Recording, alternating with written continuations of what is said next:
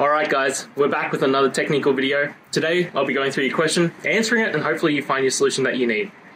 Guys, remember to stay just a little bit crazy like me, and hopefully you get to that resolution. Now, let's continue on to the video.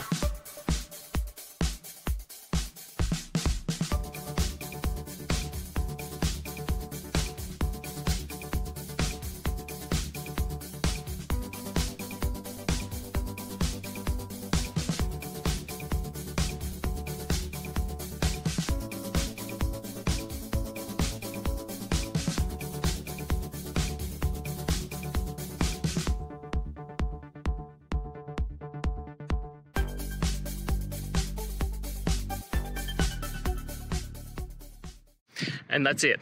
I hope you found the solution that you're looking for. If you did, please hit subscribe. I'd really appreciate it. And until the next time that you need technical help, I hope you have a good one. Cheers.